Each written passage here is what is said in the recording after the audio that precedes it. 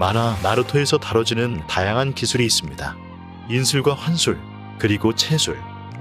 마법처럼 화려한 술법도 보는 재미가 있지만 채술의 현란함은 시청자들의 마음을 불타게 만들었죠. 만화의 주인공인 우즈마키 나루토는 그림자 분신술과 나선한 등 인술이 주특기인 캐릭터지만 시간이 흐르면서 채술에도 능한 올라운드 닌자가 되었습니다.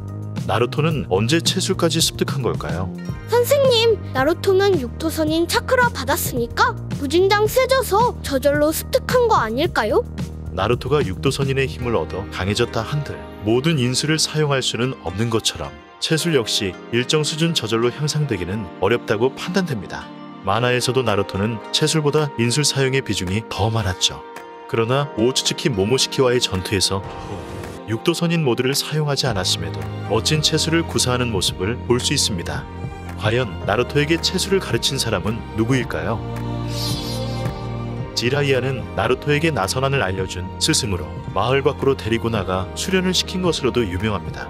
그렇게 2년 후 마을로 돌아온 나루토는 강력해진 나선안은 물론 그림자 분신술을 더 효율적으로 사용하는 등 막무가내였던 과거보다 더 닌자스러운 닌자가 된 상태였죠.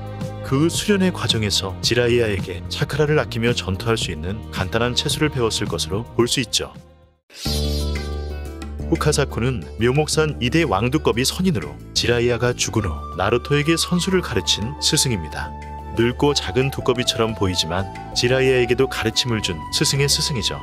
후카사쿠는 선인술과 함께 나루토가 더 효과적으로 싸울 수 있는 두꺼비 대련법이라는 채술도 함께 가르쳤습니다. 덕분에 페인과의 전투에서 채술로도 밀리지 않는 모습을 보여주었고 나선안과 그림자 분신술이 아닌 채술로 상대를 제압하는 장면을 볼 수 있죠. 극장판 더 라스트에서의 나루토는 아카데미 학생들에게 채술 시범을 보일 정도로 정석적인 채술을 선보이는 닌자가 되었습니다. 4차 닌자 대전이 끝난 이후의 이야기는 만화에서 다뤄지지 않아 어떤 사건이 있었는지 확인하기 어렵지만 마지막 에피소드를 통해 나루토를 호카게스러운 닌자로 만들기 위한 다양한 교육이 예정되어 있었음을 알 수 있는데요. 특히 수준급의 채술 실력을 지닌 카카시에게 특별 교육을 받았을 가능성이 있습니다. 호카게가 되기 전에 나루토는 심화된 채술을 구사하는 과정에서 가이나 리의 도움을 받았을 가능성이 있습니다. 얼마 전 보루토에 나왔던 나루토의 바리온 모드는 물리적인 타격으로 상대의 수명을 깎아낼 수 있는 채술을 통한 공격이 무엇보다 중요한 차크라 모드입니다.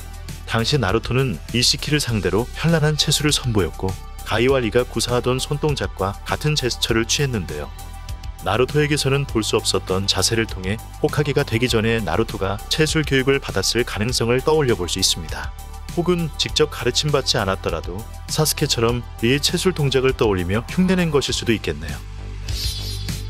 나루토의 아내인 히나타는 유권이라는 전통 채술을 다루는 휴우가 일족의 장녀입니다.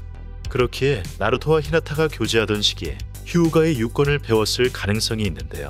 이시키와의 전투에서 나루토는 동술에 의해 나선안을 사용할 수 없게 되자 히나타가 사용하던 유보상 사건과 비슷한 양손의 차크라를 집중시킨 채술 공격을 선보였습니다.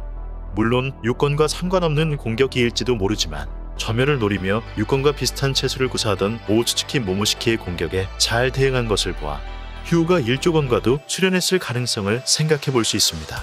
호카기가 되기까지 보이지 않는 수많은 노력을 해왔을 우리의 나루토. 과연 앞으로 어떤 모습을 보여줄지 멋진 채술을 구사하는 장면이 나오게 될지 기대하며 마치겠습니다. 감사합니다.